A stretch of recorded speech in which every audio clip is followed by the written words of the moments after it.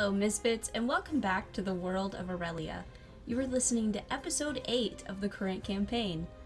Unfortunately, I only have my audio from our last game, so the recording is going to be a bit different than you're used to. I'm so sorry about that, and I will do my best to sort of cover everything. I hope you enjoy.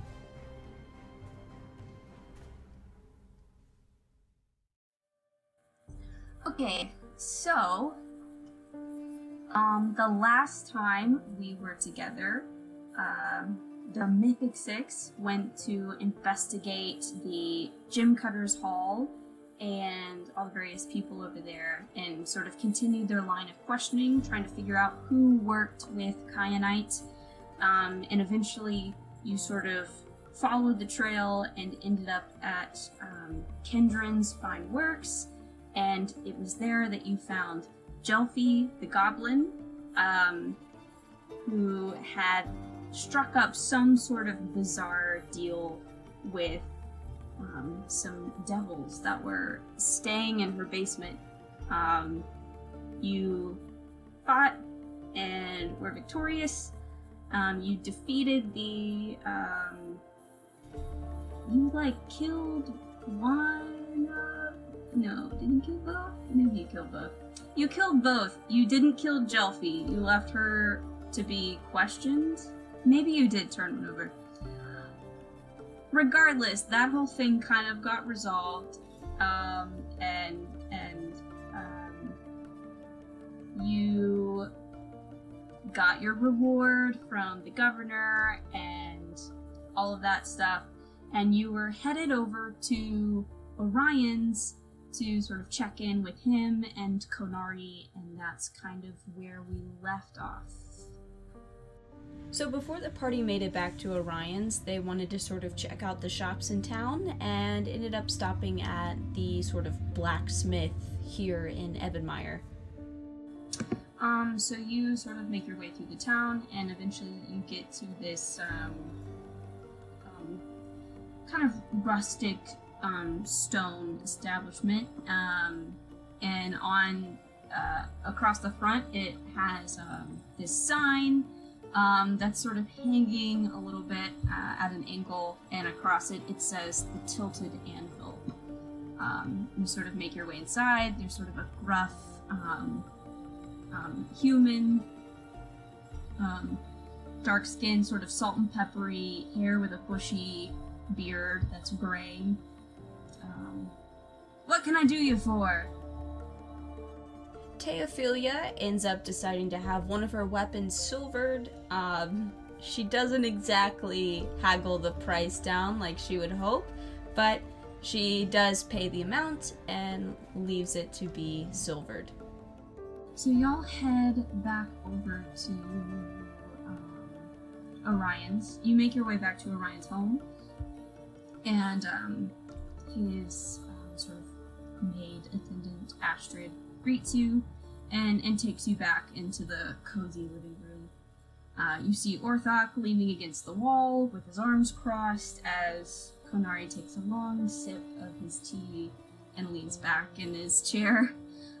Orion walks over and, and pats you on the back. Ash, ah, so good to see you again.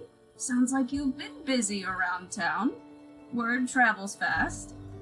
Well, I'm I'm sure that the city is in in debt to you. It sounds like your you and your group uh, have been quite helpful to a number of people. Yeah, and he just sort of shows y'all into the room and um, offers you tea or, or whatever. And y'all are welcome to ask whatever questions, talk to whoever. The party decides to talk to Konari and ask him if he's remembered anything. Um, so two things. Um, one, um, I I found this on my person, and he pulls out a pendant of the jade star in a purple circle. Um, this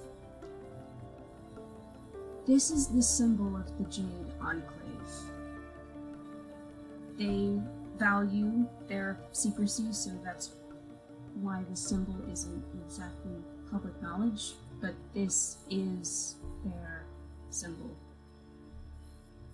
Second thing, um, I I remember the train, all of it, and uh, it's um, it's not great. Um, but uh, and and he he really looks um, sort of um, like he's struggling with with some of this. So, I was the one that um, took out those two guards that first night. I'm I'm a murderer, Ten. I don't know what to say. Um, it's it's not fun to remember some things. Um, and and most of you, um, you all kind of noticed that um, Orthok is not like really enjoying this uh, conversation. He looks kind of mad and kind of frustrated in the corner. Um, Orthok kind of he he sort of grabs you, Karok, and sort of pulls you aside. Um, listen, I I'm just having a hard time with all of this. Um, each time Orion here works on him, he remembers another friend or colleague that he's killed. Consciously done or not, he killed them, and I I think I'm just having some trouble being sympathetic towards a murderer. And and based on this the scrambled state they left his brain in, it's I just don't know if he's ever gonna remember something truly crucial to everything else. The the truth behind everything, who's pulling the strings. I just I understand that this is good for him right now, but I I feel like eventually he will need to be moved to a cell at the It's at this point that the Mythic Six voices their suspicions that the Queen or Empress of Amarine might be more involved in this sinister plot than anybody initially realized. Really, all the way to the top. That's a pretty big, uh, it's a big claim. I mean, I'm not necessarily disagreeing with you, but um, still, do you think you can get evidence to support that? And this leads to the Mythic Six coming clean with Orthok about them finding the White Temple and some of their involvement with that first orb. This is this is really I I need to I need to talk to Quest. I need to talk to Molten. Um, I mean we we I'm not gonna lie we kind of knew that they had it, but we we were unsure exactly of, of what happened to, to that first team. We know the second group had a run-in with your uh, green friend, but um, but the the other group we we didn't know what happened to them. But she does have it. Um, uh, we, you and me, we will talk about this more later. I I need to go. I I need to go report this. Um, s- stay here with him. Uh, I'll be back. I'll I'll be right back. And it appears that Konari remembered something else that's quite important. Uh, so you go sit back next to Konari and um, so I remembered some other things, and um, since I'm facing uh, a possible prison sentence, I thought I'd just tell you guys first. Um, I I have two names. The green cloaked man and the one that leads the Jade Enclave. Uh, the green cloaked man is an individual named Yondar Stilton.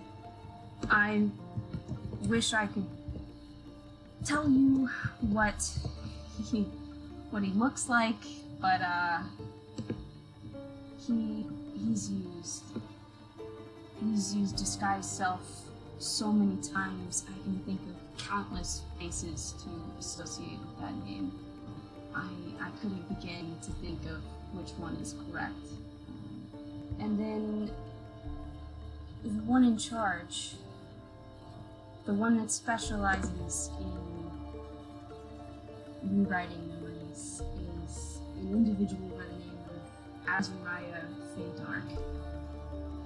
She's the one that kind of specializes in it. Yondar sort of helps, but it's not his area of expertise. I I wish I had more, but you have names, and, and it's got to be helpful in some way, maybe. Um, they're these are really bad people, um, and uh, I uh, um, I hope you never run across them. I don't know. Maybe you can do something with this. Uh, I can tell you that they have used me in the past to help scry. And so be careful. Um, just, I mean, who knows who's watching and when. Um, Having received this vital information, um, a portion of the party decides to head over to Oops um, to deliver this news to them and maybe talk about what to do next. Um, so, um, Teo and, and Ash, you guys head to Oops with possibly Elzara, Zador, Chadriel with you, who knows, and, and y'all head that way. Um, and, um, once again, walk up to, um, the sort of very impressive, almost sort of like marble, um, building with these impressive columns, this big, shining, um, finely polished statue of this dragon out front, and you um, head up the steps and, and into um, the headquarters. Uh, you can see uh, Orthok is literally like walking out as y'all come in, and um, sort of says hi, and then sort of heads back in the direction that y'all came from and you can see um, Molten Everthar, uh, Captain Molten Everthar, the sort of drow male, um, and um, Quest um, are sort of deep in a conversation. Um, sort of look up and, uh, ah, yes, good to see you again. We we just had some some news, uh, and uh, uh, we appreciate um, being forthcoming. Um, can, can we help you? Um, They share the names that they got from Konari, but question the usefulness of such a small piece of information. still, names are helpful. Um, if we can get an agent into some place that would have records, we could we could possibly find more information. So that's that that is helpful. Thank you. Having given the order the information that they have found, they then start to ask some questions of their own and seek out some answers that are long overdue. Um, so they ask Molten about the orbs of dragonkind. Ah, yes.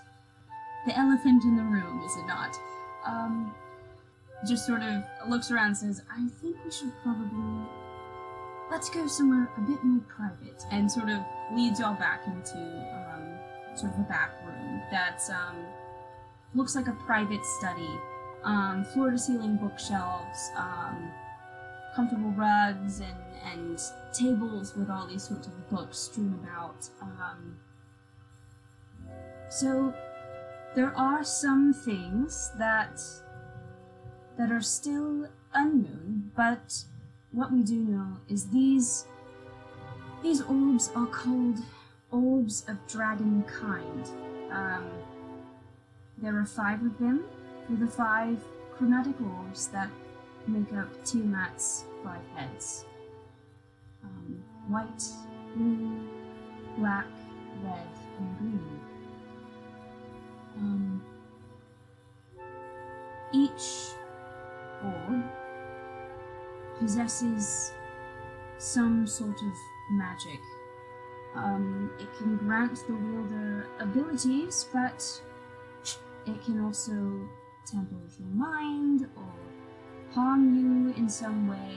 Um, it, it can be um, for the weak of, of mind or unlucky, it can be um, pretty devastating. We did study the blue one before um, before we transported it, and um, as far as we could tell, um,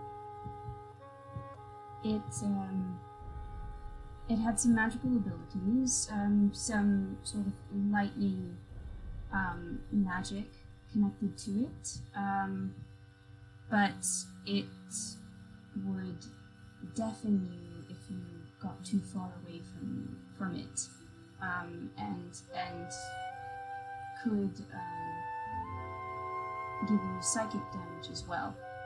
Um, so we think that's um, you know troubling, but I, I do believe each one is unique. Um, as far as we can tell, there seems to be um, some sort of essence or soul tied to it. Um, that name that it would sort of whisper to you. Um, we believe is the name of possibly an ancient dragon or, or elder being, um, something that whose essence has been tied to this orb. Um, and there's something about them that, I mean, when you truly study the orb itself, it it predates anything that we know of in in our timeline. I mean, it it, it seems like whatever it's made of either comes from somewhere else entirely, or or came from or was created before the Great Collapse even happened. Um, which I didn't think was possible. I mean, we didn't think anything survived that. We don't even have people that know what life was like before then. Um, so all of that is is strange, but we theorize that if they are joined together, it it could be devastating. I mean, we've done a lot of investigating at uh, the remains of the Blue Temple, um, and they seemed to think that uniting them and performing some sort of ritual could either channel Tiamat or summon her or free her in some way. I'm not entirely sure. And I mean, you know, they're cultists, so we don't exactly know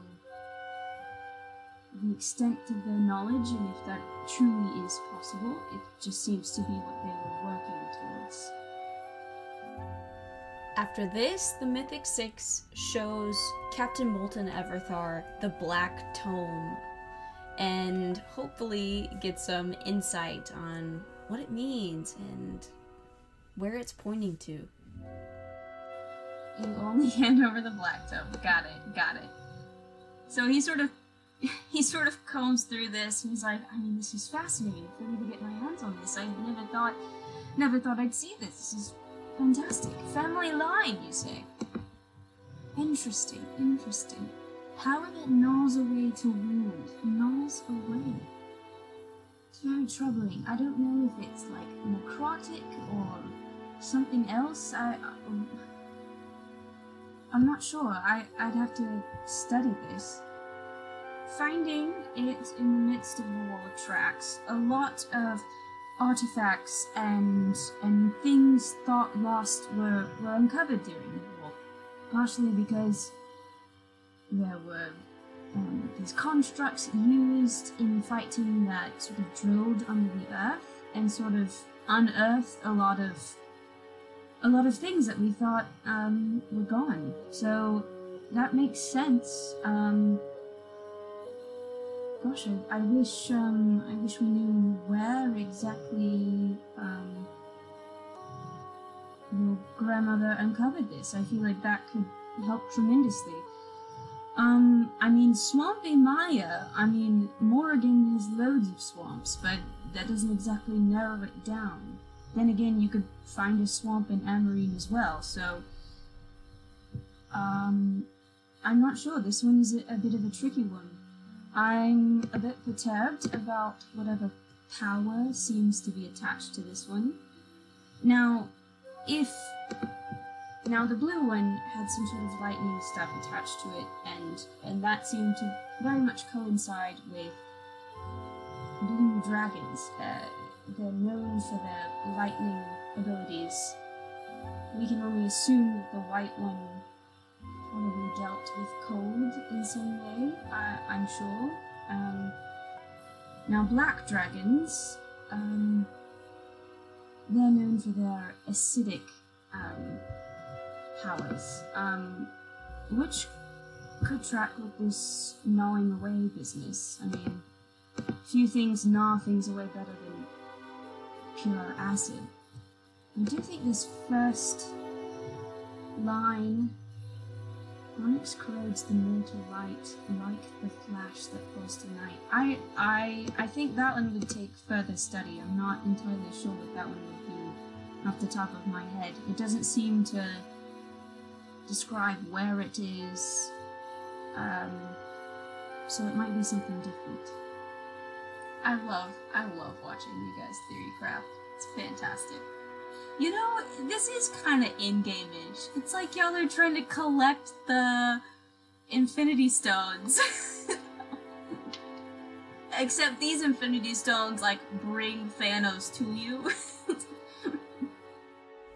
Everthar did also go on to explain some of the effects of the blue orb in greater detail. Uh, it was sort of like a thunderous.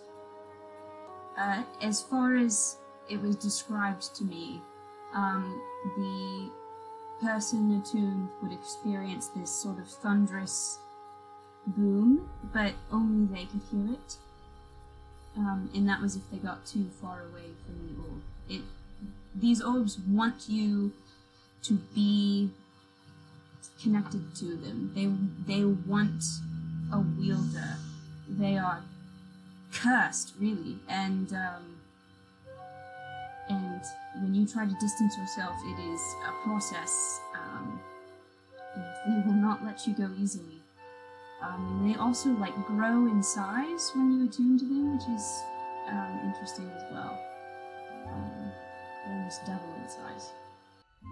Then Molten explains how the Jade Enclave found out about the train and gives the Mythic Six a bit of a warning um, in regards to who they're dealing with. I mean, they could very well have scried on on you to to know that you were in possession of the or have found the orb. Um, we have also found out that there was a guard, um, a guard working um, in Axrath that seemed very disgruntled about your group's um, presence, involvement. Um, particularly aimed at um, uh, the Miss Elzaris, and it seems like he lets um, let some information slip that that he should not have, um, which might be part of how they knew we were transporting it and, and how that whole thing went awry. Um, don't worry, he is facing his consequences. But um, it seems like the people we're dealing with are very intelligent. Um, they seem to specialize in finding information um, and using whatever means to do so. And after the people we lost at the White Temple, and and after that at the market, um, it's it's going to be challenging ultimately, we just want to collect these things to hopefully destroy them um, if we can. Um, and it might be a difficult process. But your, your help is appreciated, and um, any information is, is useful. At this point, uh, there's like a knock on the door, and uh, like a, a guard sticks her head in. Um, Captain Newton, we, uh, oh, if you could just come with us, we just need to finish up the questioning. Uh, if you're done here, and, and he sort of says, ah, yes, of course, questioning the rest of the um, train um, passengers. Yes. Um, if you'll excuse me, um, thank you so much about all of this. Um, um, but um, you know, everyone's welcome here at the Order. Um, and and if you can't find me here, I'm I'm probably down the street at the uh, Church of Bahamut. So if you ever need to find me, uh, I'll be at one of those two places. I think now would be a great time to go in and take a a break. I need some coffee.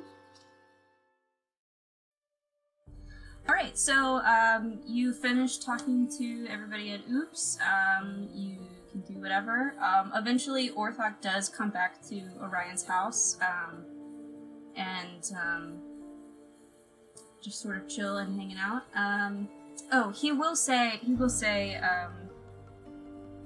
so, uh, I don't know if we ever fully talked about it, but, um, you, you did go home not too long ago, and, um, just, um, I don't know, have you thought more about becoming chief and being ready to fill that role? And then Orthok and Kerok kind of have a bit of a heart to heart and talk about home and their brothers and their family situation and the responsibilities that come with that. See, you're better than me. I kind of got tired of all of that and just left. Ugh. You had your own things that you were good at. You had this spiritual connection that I can't even really understand. I I had to make my own and I just didn't want. If history were going to repeat itself, and knowing Gumbracket will, I I didn't want to be around to see it. Though of course, if things do get bad again, if you need me, I'll, I'll be there.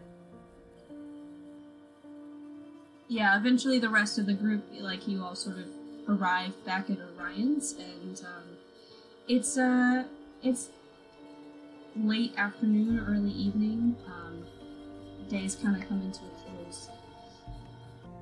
With members of the party having finally been reunited with some of their family members, they decide that they would rather stay at Orion's and stay together than go sleep on the ship and leave poor Kunari by himself. Orion looks around and he's like, Oh, are, are we having. Is this what they call a slumber party? Astrid! Astrid! Make some cookies! and, and Astrid, like, rolls her eyes and then walks into the kitchen. The Mythic Six spend a good portion of the evening swapping stories and reminiscing about old times, and eventually they start to talk about what to do next and their wariness about going back to Amarine. Um, and they start to talk about their theory that Empress Lorelei Ysera may be involved somehow. And Kunari had a little bit to say about that. Although I will say, I I don't remember dealing with her personally. Everything, every order either came from Yandar or Azariah. It, it just came from the two of them, so I don't know.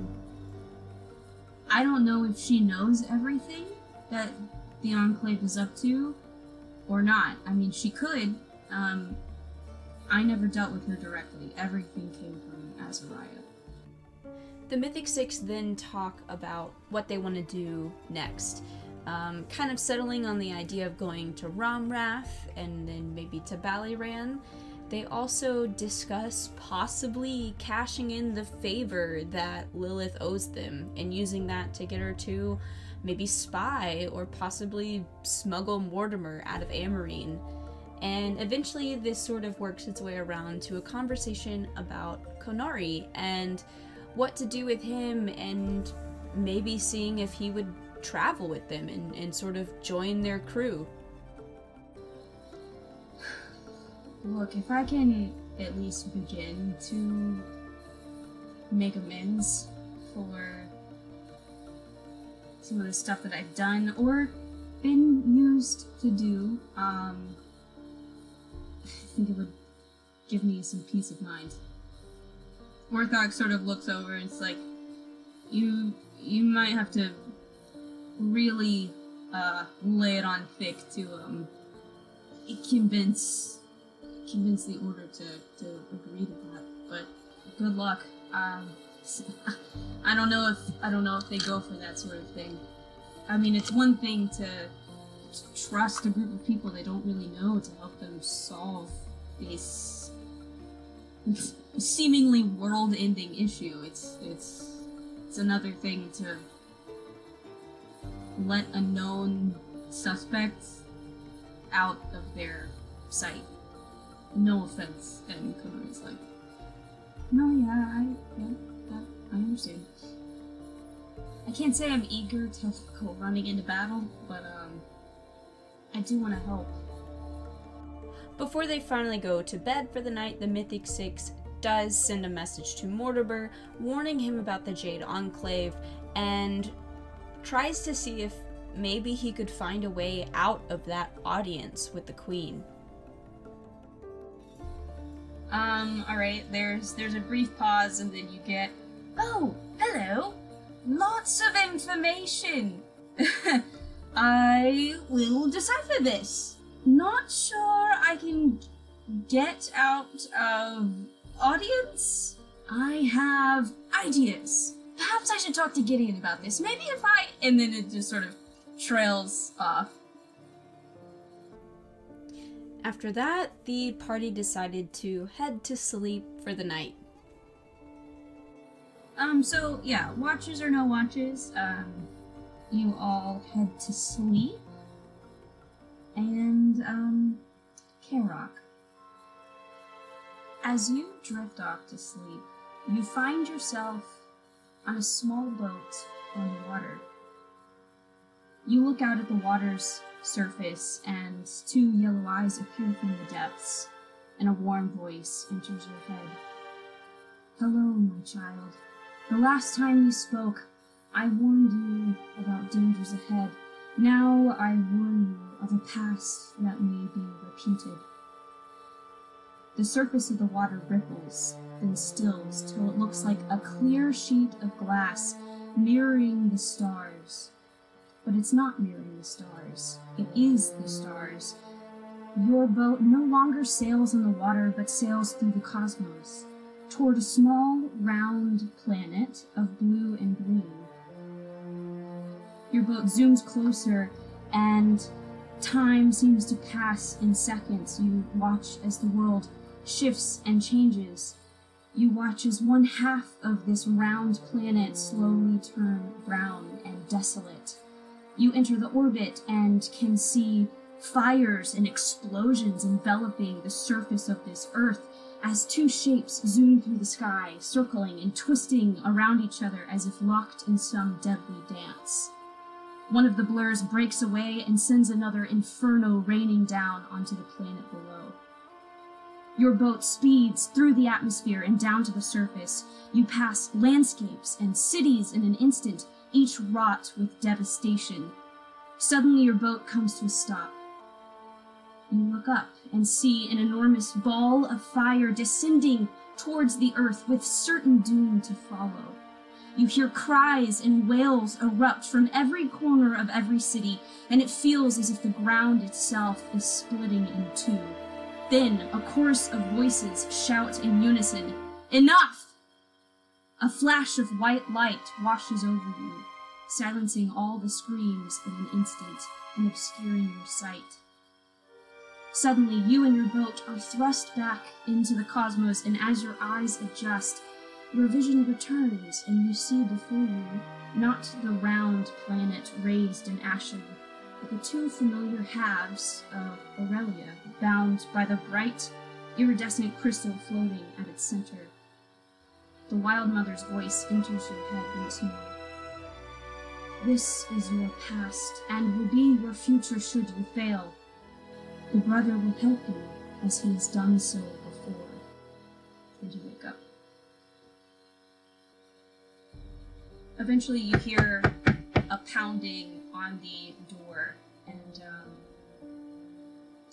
Astrid goes and answers it. Eventually, um, an Order of the Platinum Shield guard um, rushes in and motions for Orthok to come over, um, and the two sort of break off into some sort of hushed discussion. Um. Uh, you catch a couple words um, every once in a while. Um, you hear um, you hear something about some sort of incident happening in the city. Um, they mention the Moon Shadow Express at one point. Seem to be asking for um, Orthok to go help. Um, and eventually he breaks away and he's like, um, there is there's something going on, and um, I I I've got to head that way. I've I've got to go. Uh, uh, uh, it's it's it's probably fine. It's it's probably nothing. Um, I, uh, um, I we just I we need to go. We need to just we just gotta check it out. And um, he rushes up. It's like really early, but I'll give you your long rest. But um, it's still dark outside. Um, before you head out, Konari is just gonna um, just just be careful. Um, Not wanting to be separated from her brother, Tanari decides to stay behind with Konari, and Ash does the same. The rest of the party rushes off to chase after Orthok. Um, so, y'all rush down uh, the, the streets, and um, there is a commotion happening. Um, and you look and you see ahead of you in the middle of the street, there's a couple. Um, well, there's there's about five Order of the Platinum Shield um, guards or soldiers.